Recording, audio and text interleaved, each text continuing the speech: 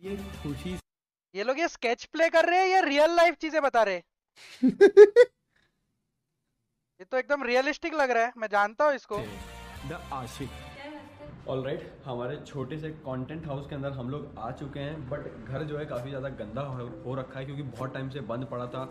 मेरे पीसी और पता नहीं हंसता क्या करता है यार आईब्रोज के साथ?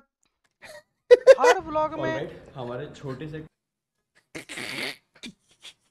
क्या है उसने अरे क्यों नहीं वो क्या तेरी क्या माँ चुदा ये आईब्रोज करवाता है कि सैंड पेपर खींचता है क्या है ऐसा इधर से अरे पता नहीं इधर से रास्ता खराब है थोड़ा यहाँ पे बीच अभी थोड़ा बहुत साफ़ सफ़ाई का प्रोग्राम सोचा है इसके